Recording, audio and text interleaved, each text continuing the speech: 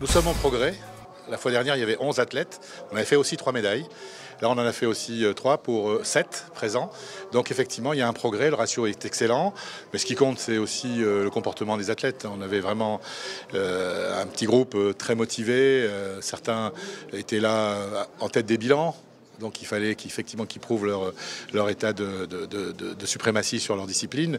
Puis d'autres qui ont surpris, je, pense, j'ai une pensée pour Cindy, parce que Cindy, effectivement, elle fait quatrième, elle n'a pas de médaille, mais elle a battu trois fois son record.